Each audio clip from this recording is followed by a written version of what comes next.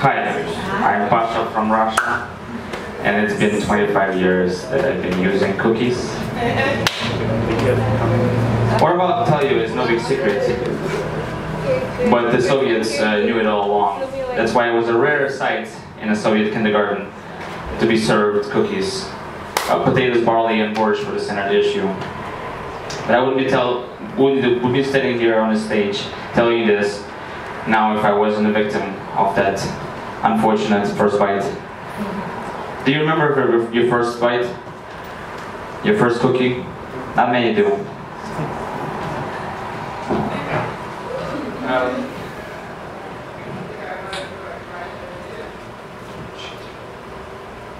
By the way, it's my first time ever on stage.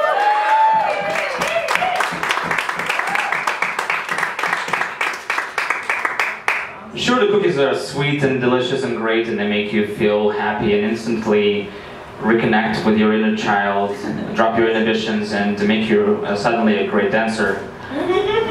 Sounds a lot like a class A, uh, what is it, the great fucking class A drug, but cookies, you know, they, they look great and, and on the surface, but what lies beneath is um, a soul-crushing ever powerful black hole of instant gratification seeking void that no half-baked, questionably cooked Girl Scout round lump can fill.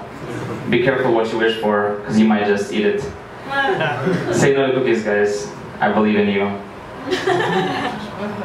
See, if I can do it, so, you, so can you. Everything is possible. Good night, everyone.